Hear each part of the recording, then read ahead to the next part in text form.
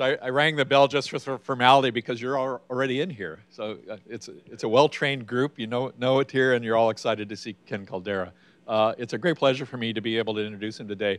One of the uh, pleasures of, of being a director in this uh, institution is that um, is that you actually get to see what's going on in the other departments. Carnegie is really an amazing place, and seeing the, the six departments and the uh, diversity of work that goes on there uh, is really a fascinating aspect of being director.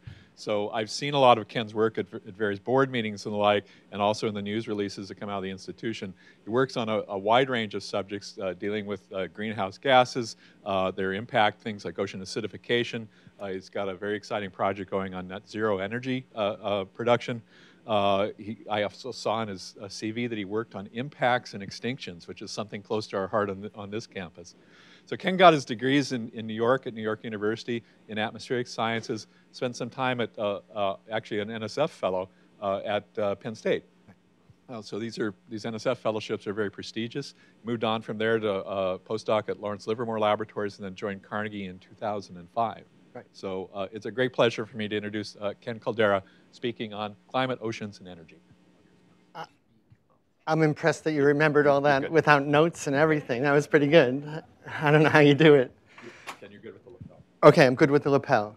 So, um, yeah, so it's good to be here. So I've been working at Carnegie since 2005, and I've never been to the Pasadena offices. I've never been to these offices here.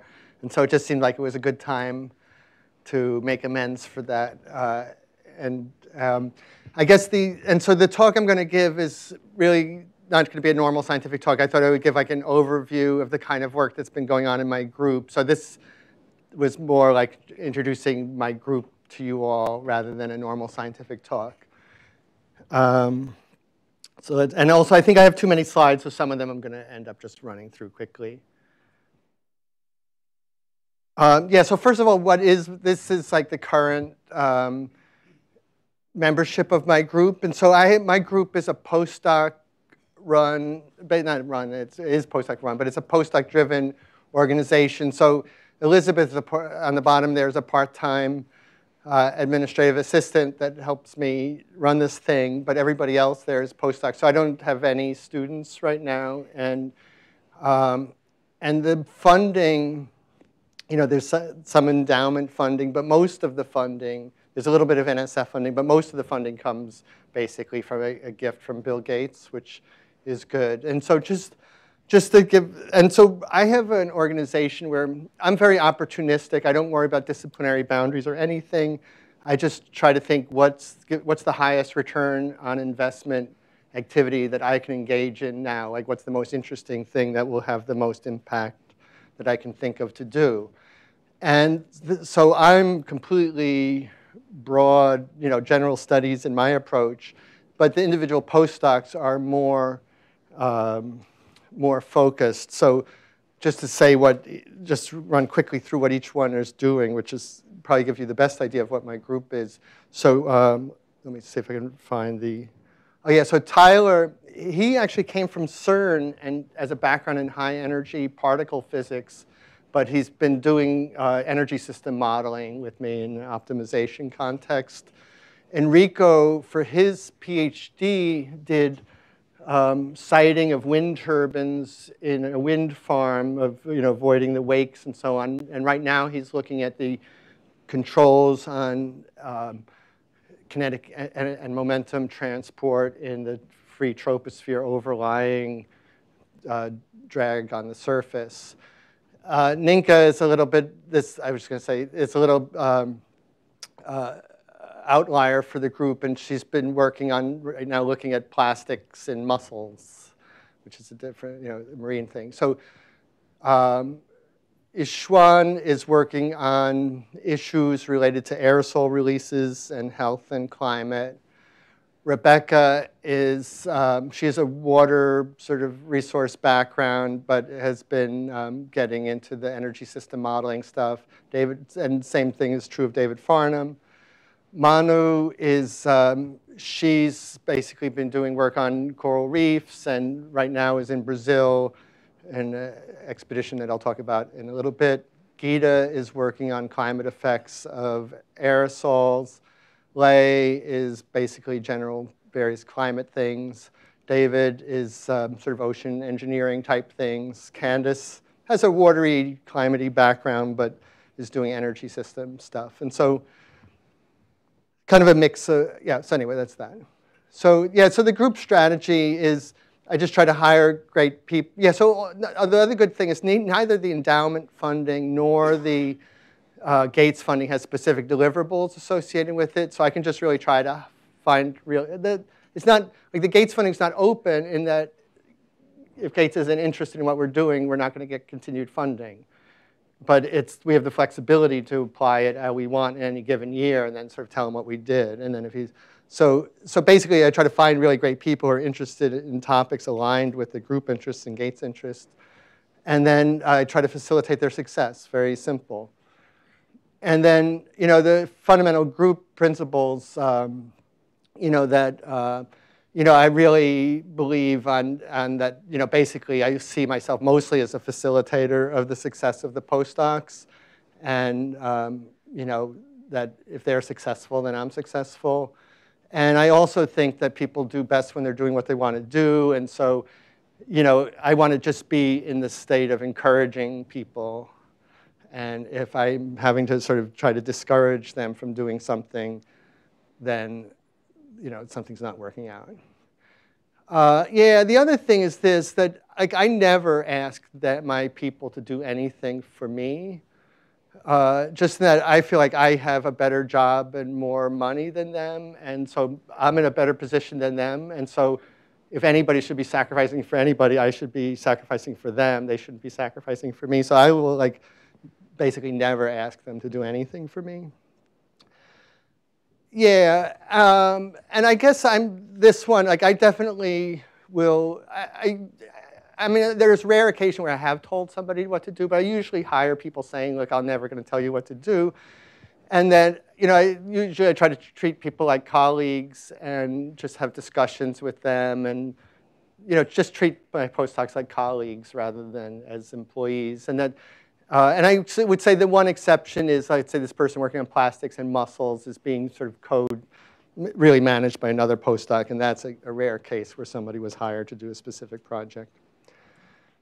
Uh, yeah, so yeah, so the challenges of this is that if you have this many people, you know, I shouldn't have had so many clicks. But you have that many people, it's really hard just to keep up with all of them. And, and so my original idea was, oh, there'll be like subgroups and there'll be clusters of mutual interests. And, and that's really been a, cha a challenge in that, uh, that lot, most, many of the projects end up being kind of mostly binary between me and one postdoc. And so just, you know, my, my resource that's in the least supply is my own time. And um, yeah, then the other thing is keeping money coming in to keep these people funded. And that actually has been relatively easy. It helps to have Bill Gates behind you, which is this. And so Bill Gates has been really nice. You know, this is like one of his, a little quotey from him. And that, uh, you know, so he's uh, been really, you know, the backbone of the financial support of my group for over a decade.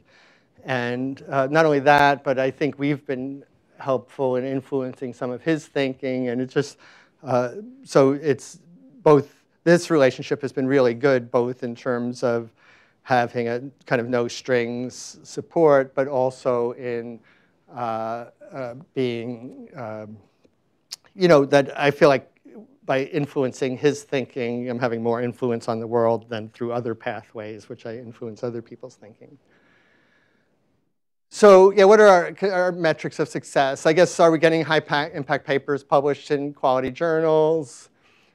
Are, are, we influencing other people? I guess these are the same for kind of everybody. Um, yeah, are they, are postdocs in my group able to find good jobs? So I, I think I have at least, I would say something like 80% success or something like that in getting people into tenure track positions and maybe the other 20% mostly find second postdocs. But you know, I think that um, if you're, you know, I think having postdocs that get jobs, it's really important, uh, both in attracting good people and then also that, you know, those postdocs when they're working, I can see the influence of having been in our group on their work, and so it's another way of kind of extending yourself through the community. Uh, and then, you know, I think if it's not fun, I don't want to go to work. And so, uh, you know, I think being fun. And then the other thing is like 10 years later, do people look back and say, oh man, that was really great. That was one of the best times of my life. Or are they regretting? And I, I hope that nobody regretted, ever regretted coming into my group. I don't think anybody has. So you can look at what's going on in my group different ways, but there's basically three pretty disparate areas.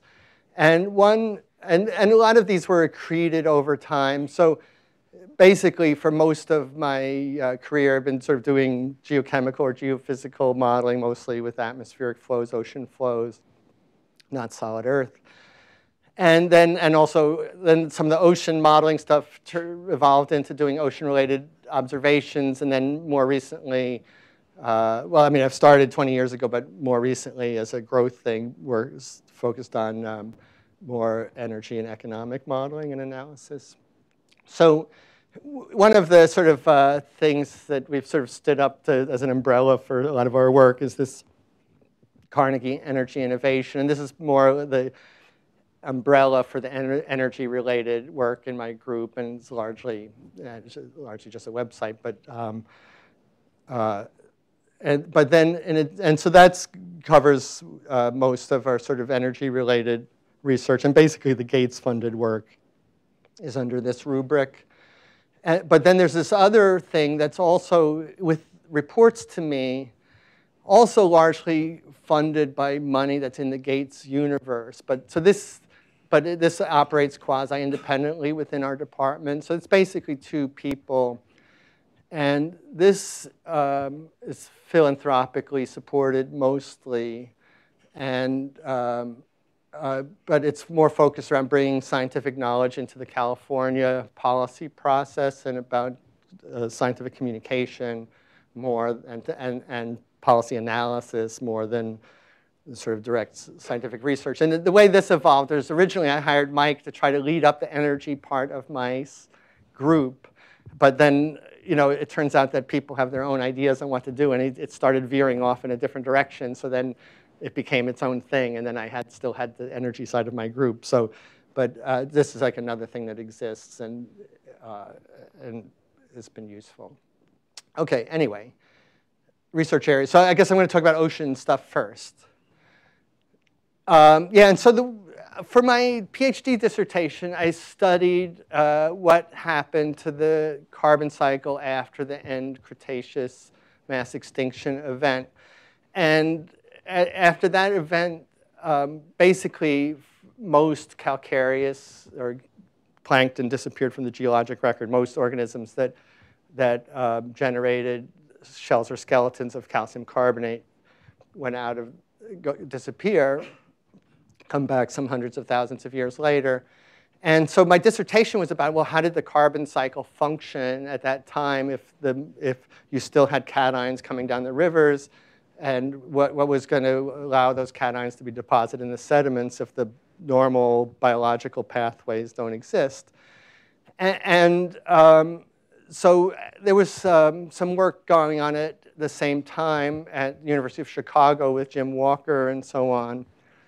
And they were looking at controls on shallow water carbonate sedimentation and its relationship in geologic time to carbonate saturation states. And so anyway, basically the main point of my dissertation was that if you killed off the plankton uh, uh, in the open ocean, the minerals, carbonate mineral saturation states would start to rise in the ocean, and that would increase the rates of, um, of uh, carbonate deposition in shallow water environments, and that would give a pathway to deposit those cations in the sediments, and there's all these since that time, there's all these micrite deposits found in shallow water sediments. Anyway, the main thing that that did is uh, make uh, us understand that carbonate deposition in shallow water environments is very sensitive to changes in ocean chemistry, which led to the whole sort of investigation of ocean acidification and all that as a contemporary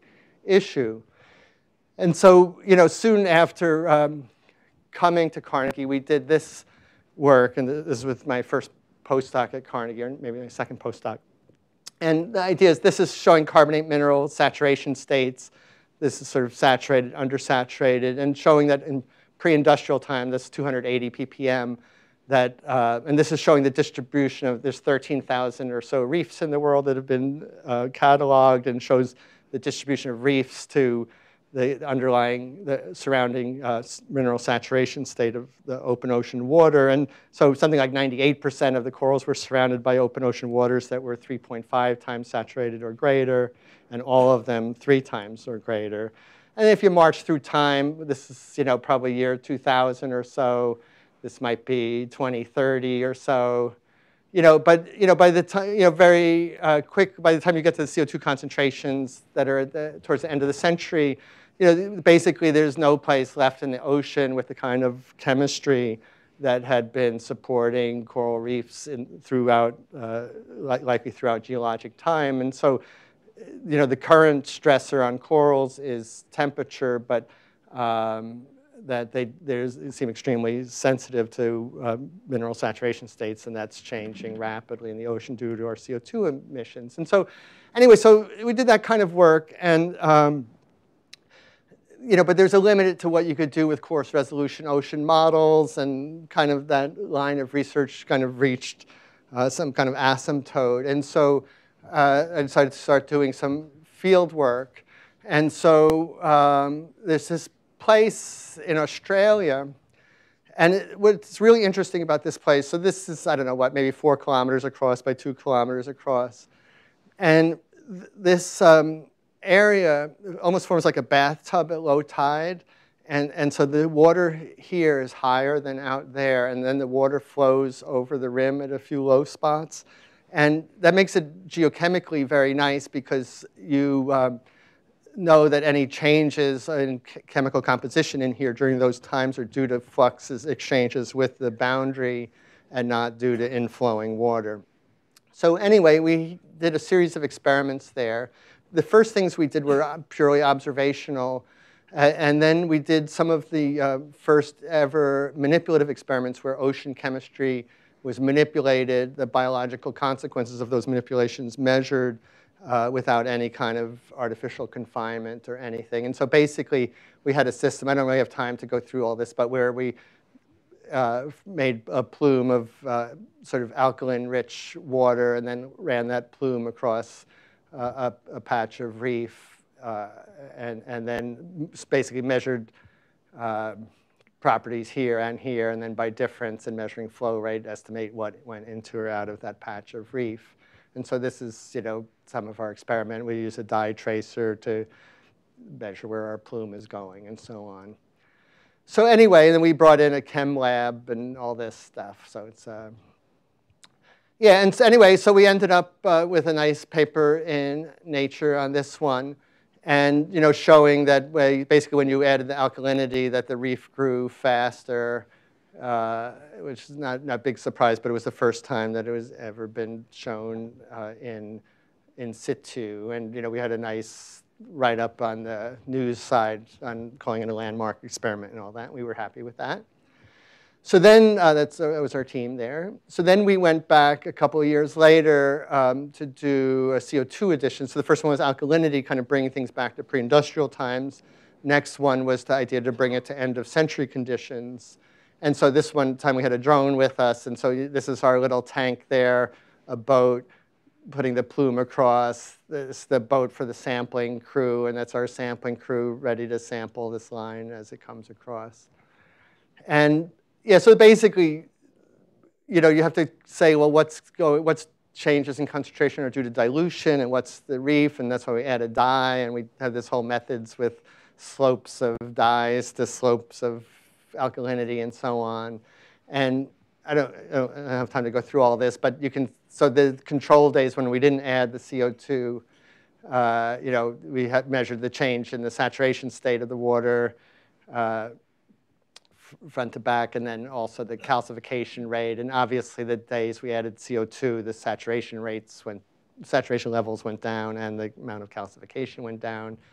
First time it's ever been demonstrated in situ without sort of chambers and things like that. Yeah, anyway, so that's that. That was good. another Nature paper. That was good. So, so one of the problems is that we ran, you know, after you do two Nature papers down a, a research direction, like what can you do to top that? And we couldn't think of anything to top that. And so, uh, like this, we, we went last year and this year on some kind of more disciplinary type work. And I, I've kind of sort of saying, like, where do you go with this? Because, uh, and anyway, so, but what we are doing with this right now is this was just from this month, two postdocs, Manu and David, are in Brazil right now. And that there are certain, so we've done some other working tide pools up in, uh, in California, Northern California. And tide pools, because they're out in the sun, there's respiration and so on, the chemical and temperature conditions uh, go all over the place. And in this tide pool in Brazil, there happens to be the brown, there is coral colonies. And so the ideas we're trying to look for like where are corals growing in extreme environments where you wouldn't expect them to be able to grow, and then you know what's allowing them to grow in those conditions. Uh, and that's sort of like where that research theme is headed right now. Okay, I'm thinking I'm going too slowly, so I'm going to pick up the pace. Okay, so then I'm just going to, I think, mention three topics of sort of what I'm calling energy-related geophysical modeling. And so basically, I, I, came out of a long time of sort of climate and geochemical modeling of atmospheres, oceans, et cetera. Um, again, you know, since people have been running climate models for 50 years now, the question is, well, what can you do with it that's new and different and somebody cares about it and it's important? And this is always our challenge, you know, that there's plenty to do, but like, what do you do that somebody will actually care about? And so we actually care whether people care about it. I mean, sometimes we do things just for fun, but mostly we want to do things that people will find useful. So um, yeah, so one of the kinds of studies we did was looking at um, this sort of, um, so if you have a uh, wind turbine, you know, wind turbine gets more or less half the kinetic energy that passes through it, which is kind of amazing because you think of these little thin blades, but they're somehow capturing half the energy that's flowing through that disk. And, but, you know, if that means if you have three wind turbines, the first one takes half, the second one takes another half, you're down to a quarter, you're down to one eighth. So very quickly, if you have a regional scale wind farm, the the kinetic energy momentum has to be transported vertically and not horizontally to get the energy to the farm. And so the question is, what are the controls on downward transport of momentum and kinetic energy the, through the troposphere to the boundary layer? And so this paper was in PNAS uh, maybe two years, I guess it was 2018, I'm not sure.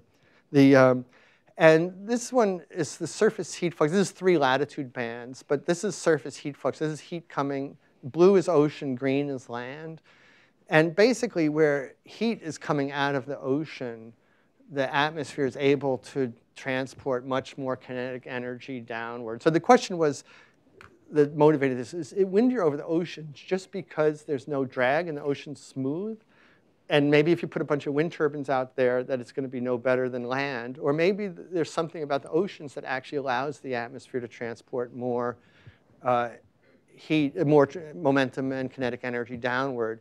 And, and so we found in this one um, that basically the that downward transport of momentum and kinetic energy to the surface is much enhanced in areas where there's a high heat flux from the surface. And now there's now this paper just sort of waved arms about why, and so I have a postdoc now who's trying to work on this more dynamically, and that there's two kinds of uh, main uh, theories, and that one is that the uh, ocean heat transport sets up high temperature gradients in the surface, which then uh, leads to some wave breaking in the atmosphere. And the other view is that the high heat fluxes uh, generate atmospheric instabilities that through convective processes bring down kinetic energy. And so there's a postdoc now who's following up on this, but that, that's kind of like one example of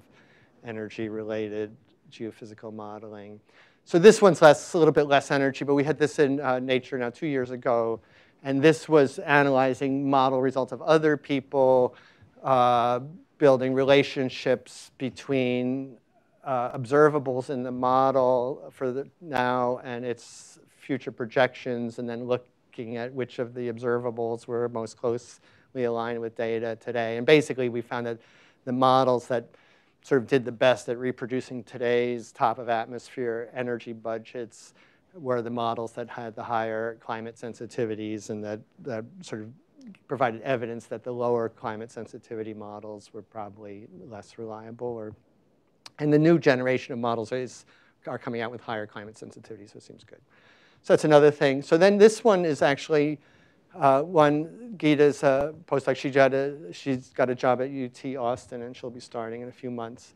But, um, and this is actually a major research direction now in my group, in that this, this is uh, something that was published last year, Nature Communications. And so there's two basically, in, this, this, in these cases, the same aerosols, sulfate mostly, but also black carbon, so on, are being emitted. And she basically, mostly she did it in different regions. And so this was, um, in this case, the emissions are coming from China, in this case from India.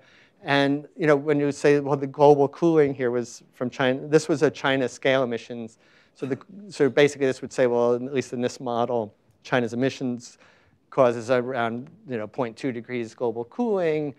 And this is the spatial pattern that you'd expect to be from. But the space, you know, but the cooling that you get from emitting the same emissions in India uh, seems to be something like 10% and with a very different spatial pattern. And it turns out some of it is, has to do with the aerosols getting rained out, but also even if you go look at the radiative forcing and the, the climate, you know, that that it is um, much less sensitivity to the radiative forcing. And so this is leading us down this road of trying to understand global and regional consequences of regional radiative forcing or regional changes. And so the, this, um, I could go through, there's all kinds of things that we do, like change in land use, change irrigation, uh, et cetera, that um, regionally affect the planet, but then have global implications. So that's like one of our research directions. Okay, so then the last sort of area going on in my group is this energy and economic modeling and analysis. And um, yeah, so that one, so Steve Davis was a former postdoc who um, is now at um, UC Irvine. And so basically, uh, we yeah, so one of the nice things of basically we ran this meeting uh, uh, saying, well, what's the hardest parts of our economy to decarbonize? And, uh, and then how would we think about getting carbon, carbon emissions out of those parts of the economy? And um, anyway, this was, um, uh, you know, and so anyway, you know, so Chris Fields is in here, former Carnegie person. The, um, anyway, so this was, and so now what we're doing, so this was just like a review kind of analysis one, but now what we're trying to do is model this system, and basically what we have now is mostly just the most of the green. So the green parts of this is electricity, the red is CO2, this is hydrogen, and then the purplish is hydrocarbons, liquid hydrocarbons. And so right now we're pretty much mostly with the electricity, most of this green with a little bit of the hydrogen, but we're sort of building up to something like this. And yeah, so this is sort of a wiring diagram of what we're building up to, but basically the orange parts of this is what we have now. So the first paper that came out of this work was um, by Matt Shaner. And Matt was a postdoc who came out of Caltech working with Nate Lewis.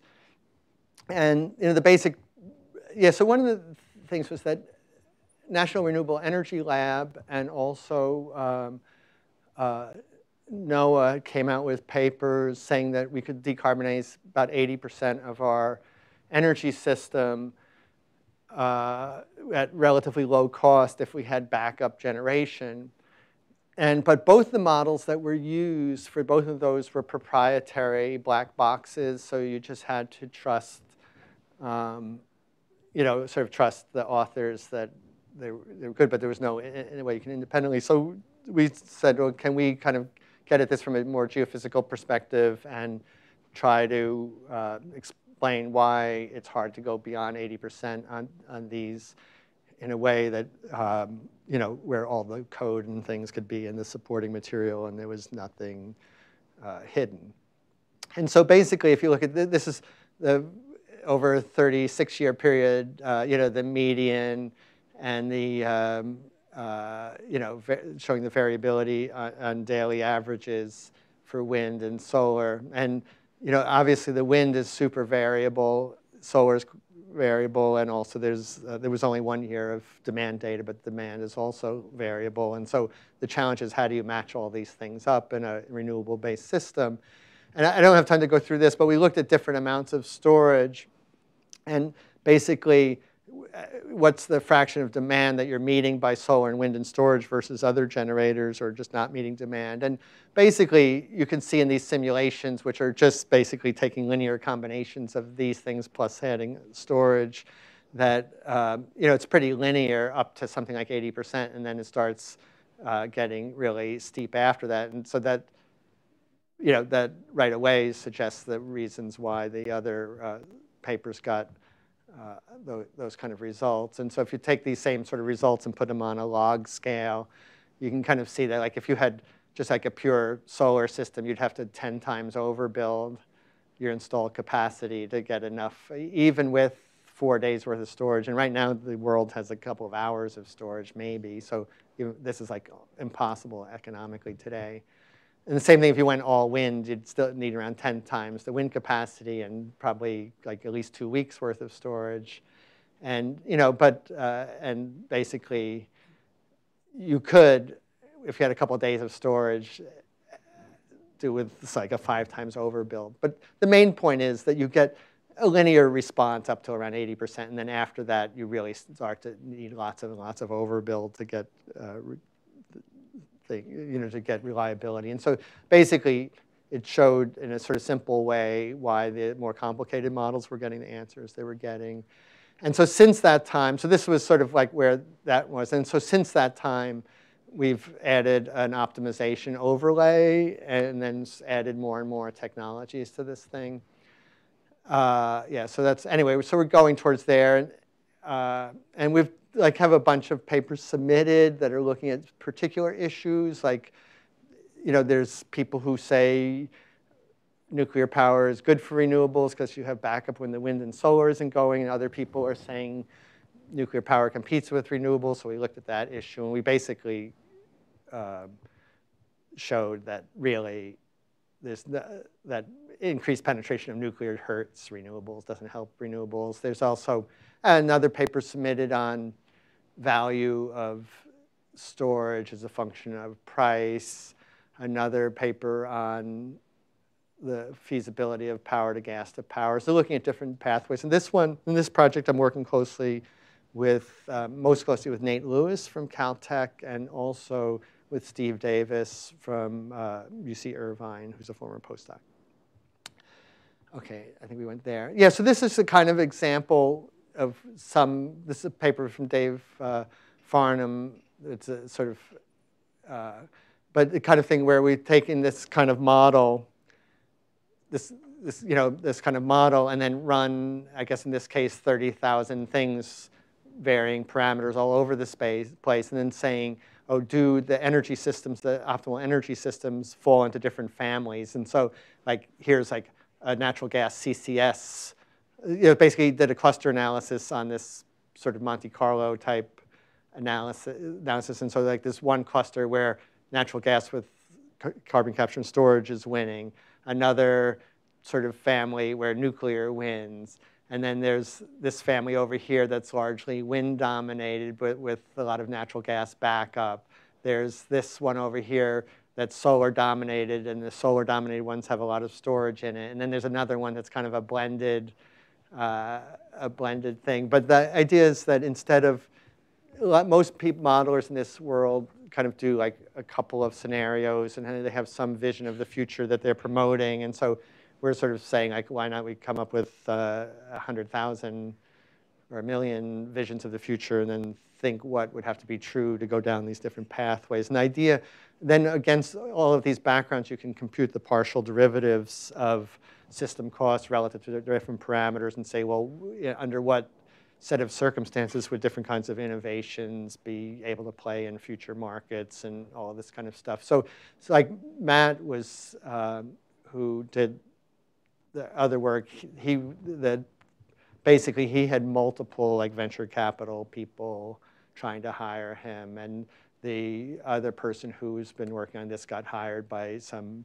energy and environment consulting company. So that this, this kind of work, it's kind of unusual because there's a lot of um, sort of uh, both sort of investor and environmental consultant pathway out of this one, where most of the other work I've been doing has been just having academia as the, as the sort of career path. So anyway, that's, um, let me, yeah, so that, yeah, I guess that's basically it. And so don't I just actually come back, just to come back to where I started, because that's, it's really the, you know, the, the, people in my group, oops. Yeah, so, you know, that it's, um, you know, so I have a super diverse group. We're super opportunistic, and I'm afforded that because we have the Carnegie Endowment support, which doesn't have specific deliverables but tied to it, have the Gates funding that doesn't have specific deliverables tied to it. I have a really great group right now. And you know, it's like a pleasure for me to go into the office and work with these people. And, and, um, you know, we're, we're into small science. It's like, what can a project be that's led by a postdoc? And then I can have other people helping the postdoc. But I'm a big believer in small science that, that I, you know, that the, um, you know, is give, giving as much responsibility and authority as far down the corporate hierarchy as possible. And, um, and it's just been a lot of fun. And it would be nice if our institution would continue to allow us to do our work. And with that, I'll close.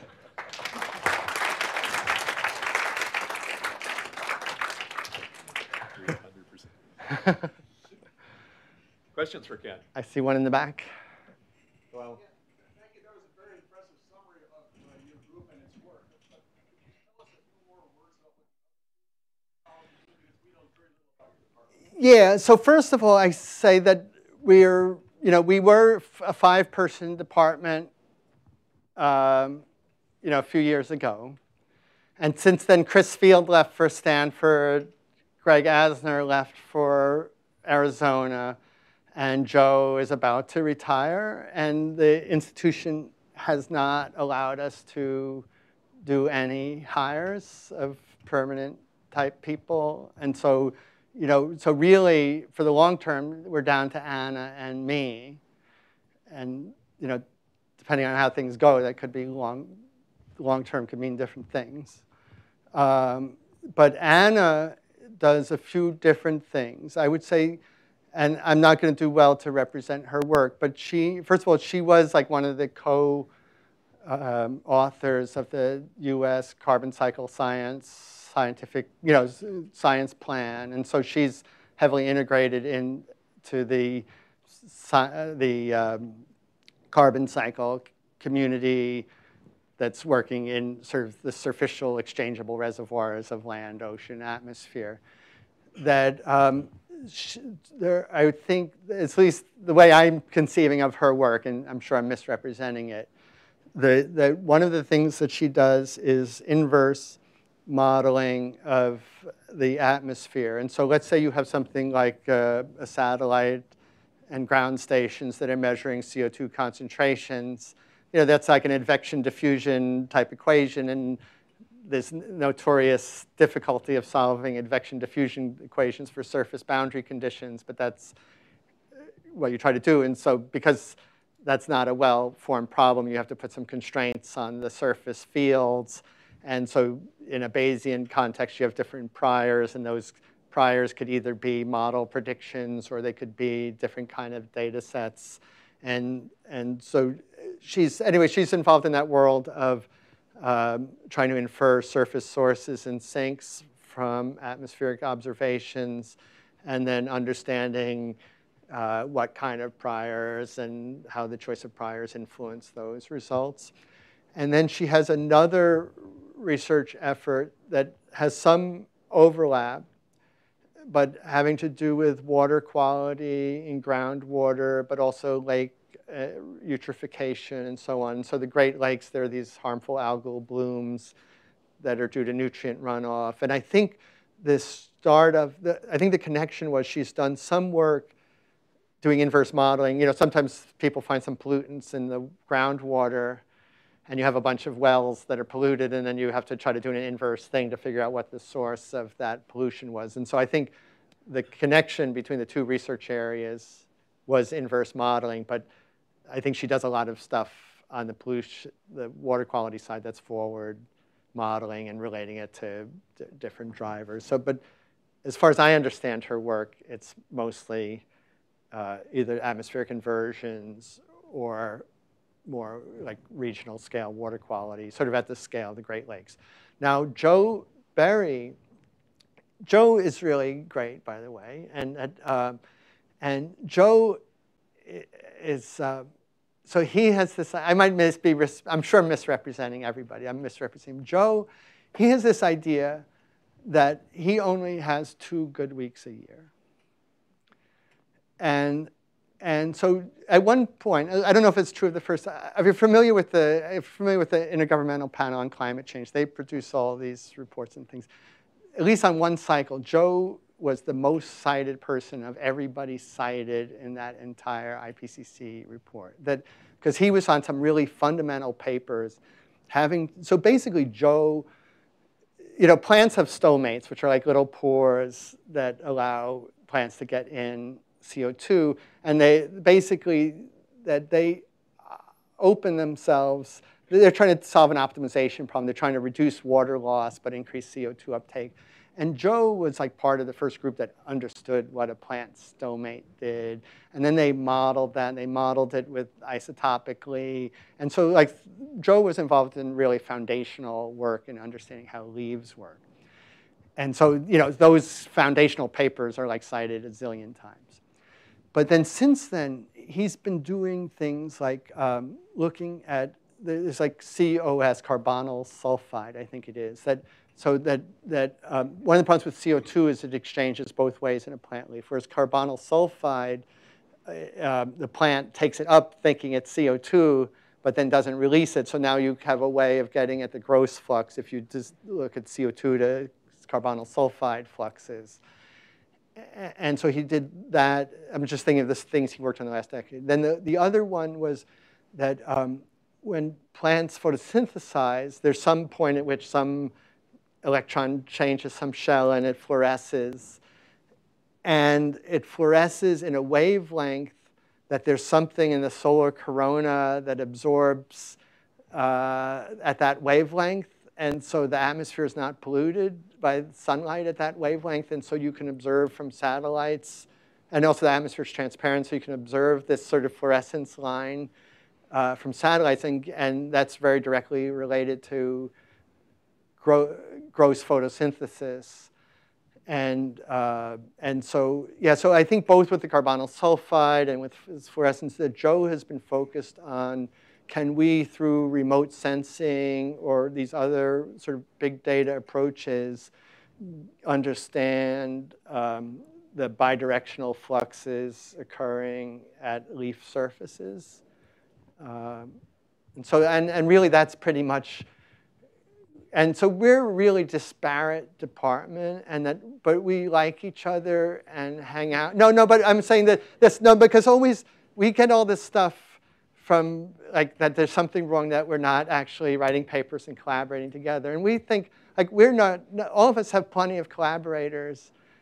And all we really want from our colleagues is like, we want to be appreciated. We want them to be nice to us. We want them to, to have nice conversations and be intellectually stimulated by them. But we don't need them for collaboration, you know. And so, and and so we think it's good that we're diverse and all working on different things because that's stimulating. But uh, for some reason, we're an organization that thinks we should be actually writing papers together, which we see no reason why we need to be doing that. Okay.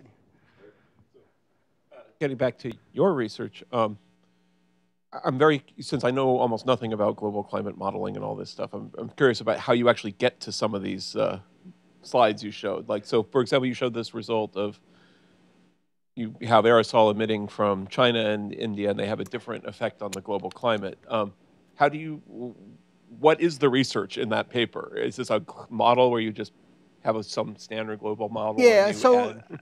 yeah, so I would say that, um, you know, having done research both in observational stuff, saying related the oceanographic stuff, and the modeling stuff, that, um, that my sense is that it's much easier to get a high profile paper with the modeling stuff and that you know the models we're using are developed by National Center for Atmospheric Research that um, that you know so you know the dumbest kind of modeling paper is we took some model off the shelf we did x and y and here's what happens when you do x versus y and we have no idea why. Please publish Right. Right. Sure. Okay. And and then, you know, there's different degrees of mechanistic understanding that. Yeah. Uh, so I guess I'm getting at more specific question for that. Say for that particular paper. I mean, when you when you're talking about aerosol emissions from China versus India. So okay, so you're taking yeah. some model yeah, global. Yeah. So let me So are say, you taking actual emissions of aerosols from those and pumping them in, or? Well, we took what's estimated for aerosol okay. emissions from China taking a model off the shelf. So where I was, where I was starting leading to is that the um, the zero, you know, the zeroth order thing. I'm trying not to be too honest here. The uh, no, but the zeroth order thing is take a model off the shelf, do X and Y.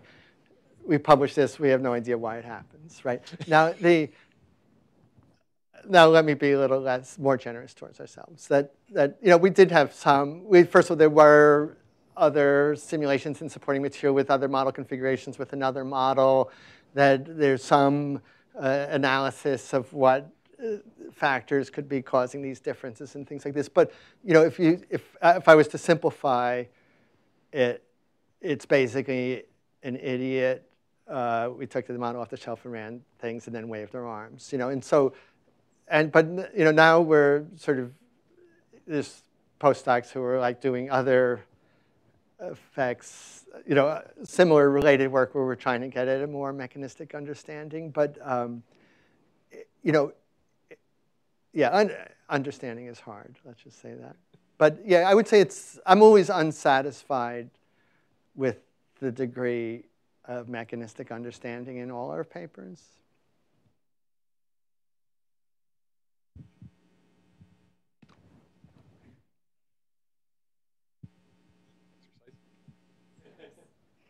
Um, so this is another question about your research, but maybe more on the logistical side.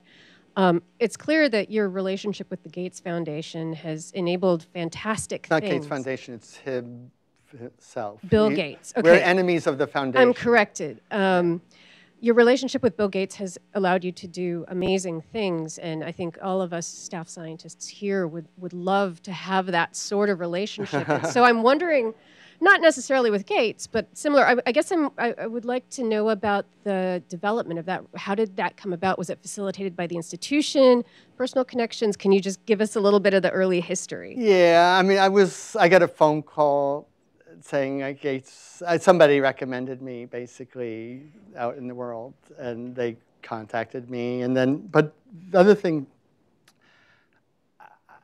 you know, so for the first year, I've, um, you know, I was just helpful in organizing things. And until this day, I'm, I've never asked them for anything. And so, and I always try to be helpful. And, and I think the key is just try to do useful stuff. That that you know I think if you try to be helpful and you try to do work that's useful to people, that so uh, you know I'm all for curiosity-driven science, and a lot of our papers are just curiosity-driven, but a lot of them are like, what would people actually find useful? And and I think that um, the other thing is just trying to help. So I'm a big believer in you know, like you get back what you put out, kind of, and that if in interactions you just try to be helpful, then eventually people will help you. It might not be the same person, but you kind of get back what you put out, and that, um, and so I think with Gates stuff, I think just that they saw I was really trying to help. Like he says, I want to learn about something, and I would go, okay, and I don't ask for anything. I just say, how can I help you learn about that? And, and then also, I, I'm always ready to be the complete idiot in the room. Like, no, I'm like more than happy to exhibit my ignorance about anything. And, and I also don't, I also don't believe, I believe like almost all of my beliefs could be false. And, and, and so you know, so I think when you have somebody who, look, I want to help, I think this, but I could be wrong. Um, you know, there's nothing I'm trying to sell here. Let's see what the reality is. And I think just when you, people feel like, oh, so I think for him, I think he's felt like, well, I'm not trying to sell him anything. I'm not trying to get anything from him. I'm trying to actually help.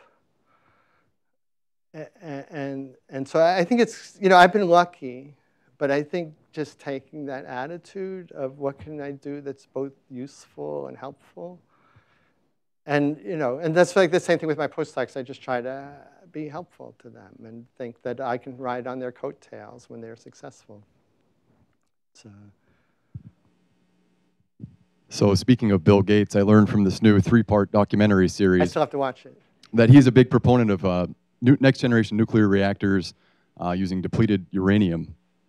Um, and, I, and I guess you submitted a paper in your talk. You're doing some new modeling analysis uh -huh. with nuclear, and you mentioned that in all scenarios, renewables lose against uh, nuclear power. No, I didn't say that. I said that in scenario, the question was, so the, the typically pro-renewable people tend to be anti-nuclear. That's right.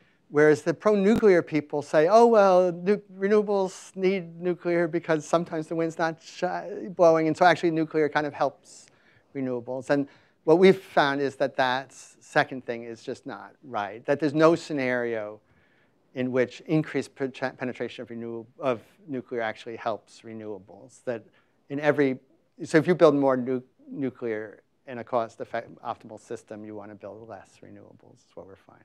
Okay. So, but not that it could compete, because today, right now, nuclear costs twice as much, and it's not going to compete. So follow on from that, though, is do your calculations about storage deal with the issues of rare metals? So there's only no, not yet. in the world. And, uh, right now, we're just doing that as costs. And the, I mean, this is a big question of how much innovation could help switch to other metals and so on. Any other questions? If not, Ken's around the afternoon. His schedule's full, so about the only time you have a chance to talk with him is over lunch. So please, please take advantage of that if you want to. Uh, but let's thank Ken for the, uh, the very nice lecture. Yeah, I, I have to say that within our department right now, you know, like we've been going through a sort of troubled time over the last couple of years, but like within our department now, it's socially great. Like it's actually brought us all together, and we're, you know, we're actually very good mood socially within our department, and it's just the dealing with the sort of when you go above our department.